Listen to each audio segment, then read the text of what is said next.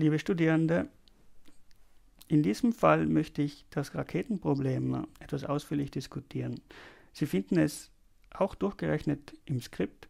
In der Vorlesung habe ich nicht die gesamte Rechnung durchgeführt, sondern im Wesentlichen das Ergebnis diskutiert. Aber schauen wir uns nochmal die Berechnung des Raketenproblems Schritt für Schritt an. Wir haben also die Situation, eine Rakete fliegt zu einem Zeitpunkt t mit einer Geschwindigkeit v von t. Wir schauen jetzt das ganze Problem nur in einer Dimension an. Wir nehmen einfach ein System, das ist die x-Achse nach rechts.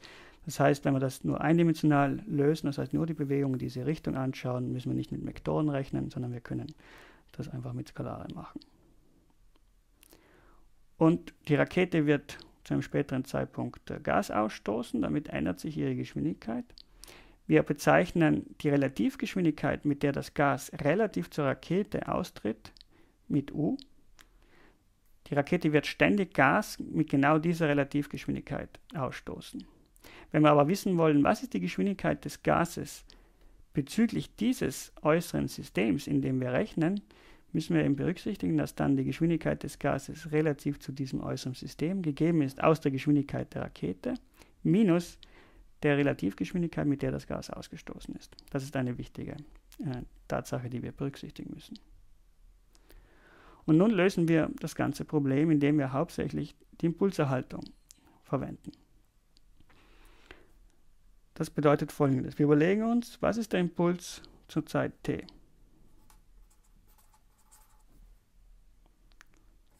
Der totale Impuls zur Zeit t. Und zu diesem Zeitpunkt nehmen wir an, die Rakete fliegt mit der Geschwindigkeit v von t und stößt zu diesem Zeitpunkt äh, kein Gas aus, aber im, im, nächsten Zeitintervall wird dann Gas ausgestoßen. Das heißt, wenn wir einfach diese Situation anschauen, die Rakete zum Zeitpunkt t, wo kein Gas ausgestoßen ist, bedeutet, dass der Impuls gegeben ist aus Impuls zu Zeitpunkt t ist gegeben aus der Masse groß M der Rakete zum Zeitpunkt t. Das ist gerade ein kinematisches Problem, wo sich die Masse des äh, Systems zeitlich verändern wird, mal die Geschwindigkeit der Rakete zum Zeitpunkt t. Und dann überlegen wir uns, was ist der totale Impuls zu einem kurzen Zeitpunkt später. Totaler Impuls zur Zeit t' gleich t plus tt oder ein Delta t. Also ein infinitesimalen Zeitpunkt später. In diesem kein, kleinem Zeitintervall wird eben die Rakete eine bestimmte Menge an Gas ausgestoßen haben. Das Gas fliegt in diese Richtung, hat also Impuls aufgenommen. Wir müssen also nun den Impuls des Gases berücksichtigen, welches im Zeitraum Delta t ausgestoßen wurde.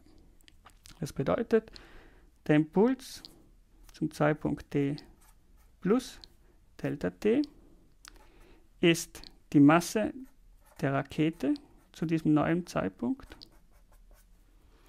mal die Geschwindigkeit zu diesem neuen Zeitpunkt.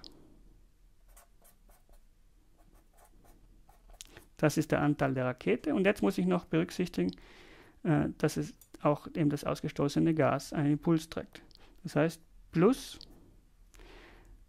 und die, die Masse, die ausgestoßen wird, bezeichnen wir mit dm, weil in einem kleinem, sehr kleinen Intervall wird eine kleine Gasmenge ausgestoßen, mal die Geschwindigkeit v Gas. Das ist also die ausgestoßene, ausgestoßene Gasmenge im Intervall Delta t. Und jetzt nehmen wir einfach an, die Geschwindigkeit einen kleinen Augenblick später, die hat einfach zugenommen. Das heißt, v von t plus Delta t können wir auch schreiben als die Geschwindigkeit vorher plus eine kleine Zunahme der Geschwindigkeit. Einfach die Geschwindigkeitsdifferenz sozusagen. Und das können wir nun einsetzen. Dazu überlegen wir uns aber noch etwas anderes, nämlich dass die Masse der Rakete zum Zeitpunkt t Delta t, die wird abgenommen haben, weil ja zuvor hatte die Rakete das Gas noch bei sich, dann wird diese Gasmasse ausgestoßen. Das heißt, die Masse wird abgenommen haben. Das heißt, das, war, das muss sein die Masse, die die Rakete vorher hatte, minus die ausgestoßene Gasmenge. Und dann können wir noch einsetzen, dass die Gasgeschwindigkeit gegeben ist aus der Geschwindigkeit der Rakete minus der Relativgeschwindigkeit. Und wenn wir das alles einsetzen, dann finden wir genau die Gleichung, die auch im Skript steht. Das ist also die Gleichung, die ich kriege, wenn ich einfach diese Terme einsetze. Wie gesagt, die finden Sie auch im Skript. Und jetzt können wir uns das anschauen. Wie gesagt, das ist äh, die Masse der Rakete nachher. Und das ist der gesamte Impulsanteil, die vom Gas getragen wird. Und jetzt kann ich das umformen, indem ich einfach jeden Term mit jedem multipliziere. Ich schreibe hier oben weiter.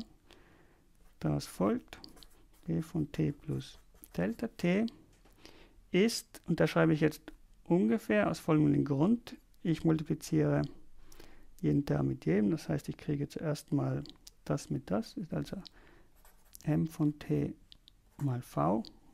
Ich könnte auch hier v von t sch schreiben. Und das ist aber gerade der Impuls vorher, das hatten wir gesehen, das ist genau dieser Teil hier, plus m von t mal dv, das sind diese beiden Terme,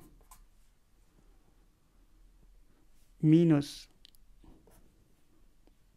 u mal dm und dann gibt es noch diesen Mischterm hier, minus dm dv. Es gibt diese Terme hier. Nun, da wir infinitesimale kleine Änderungen betrachten, hier haben wir ein Produkt von zwei so infinitesimalen kleinen Änderungen. Während in allen anderen Termen entweder nur eine kleine infinitesimale Änderung auftritt oder keine. Das bedeutet numerisch werden diese Terme alle viel größer sein als dieser Term hier. Das heißt, wir vernachlässigen den einfach. Damit ergibt sich eine einfache Gleichung und aufgrund dieser Vernachlässigung habe ich hier auch das ungefähr Zeichen hingeschrieben, um das anzudeuten. Das bedeutet nun, b von t plus Delta t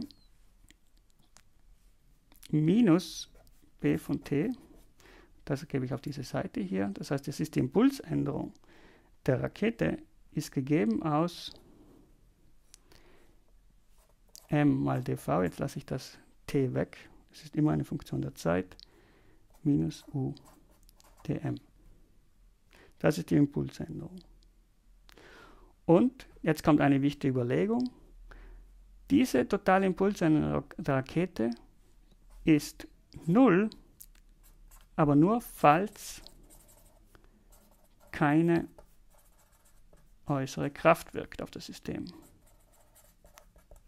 Wenn wir jetzt annehmen, die Rakete fliegt horizontal und es wirken sonst keine Kräfte, keine Gravitationskraft, zum Beispiel die Rakete ist irgendwo im Weltraum weit weg von allen Planeten und Sternen, dann würde auf das gesamte System in der Tat keine Kraft wirken.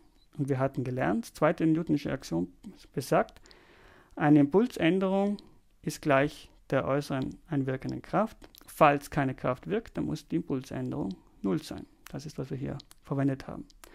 Klarerweise ist es so, wenn Sie das Problem berechnen wollen im Gravitationsfeld der Erde, dann müssen Sie berücksichtigen, dass auf das System die Gravitationskraft wirkt. Das heißt, hier rechts müssten Sie dann die Gravitationskraft einsetzen. Und dann verändert sich die gesamte Gleichung die Lösung ändert sich etwas, aber insgesamt die, die generellen Überlegungen zum Problem bleiben dieselben.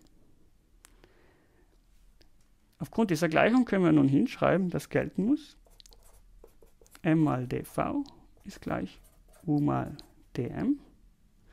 Und ich kann jetzt beides Seiten mit dem äh, Zeitintervall, in dem ich das alles betrachte, dividieren. Das, das folgt m mal dv nach dt ist gleich u mal dm nach dt. Jetzt haben wir eine Gleichung, wo links steht Masse mal Geschwindigkeitsableitung, das ist Masse mal Beschleunigung, ist irgendein Term. Und weil hier eben sowas steht wie Masse mal Beschleunigung ist irgendein Term, bezeichnet man diesen Term hier als Schubkraft. Das ist keine echte Kraft, das ist ein, einfach eine Wirkung, die entsteht aufgrund der Impulserhaltung. Aber eben auf, aufgrund dieser Schreibweise bezeichnet man einfach diesen Term als Schubkraft. Die Tatsache, dass eben Masse ausgestoßen wird, beschleunigt die Rakete in die Richtung. Das ist genauso, wie Sie erfahren, wenn Sie auf einem Wagen sitzen und Bälle abwerfen, dann wird sich der Wagen mit Ihnen in Bewegung setzen. Und wie schnell der Wagen oder wie stark der Wagen beschleunigt wird, wird davon abhängen, mit welcher Geschwindigkeit Sie die Bälle vom Wagen werfen und äh, wie groß die Massen dieser Bälle sind, die Sie praktisch vom Wagen werfen und damit sich die Masse äh, des Wagens pro Zeiteinheit verändert. Was also bleibt, ist dieses Problem, dieses Differentialgleichungsproblem zu lösen. Dazu kann man noch folgende Überlegung machen.